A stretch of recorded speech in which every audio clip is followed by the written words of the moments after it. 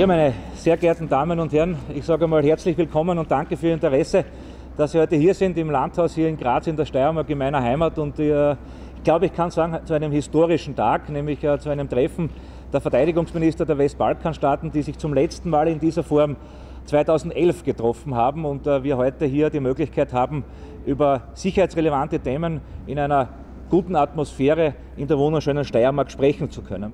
Ich möchte noch einmal festhalten, unsere Aufgabe als Ratspräsidentschaft ist es, zum einen Brücken zu bauen, aber auch ganz klare Signale auszusenden und zu sagen, wir müssen Sicherheit exportieren, um nicht Unsicherheit nach Österreich und nach Europa zu importieren.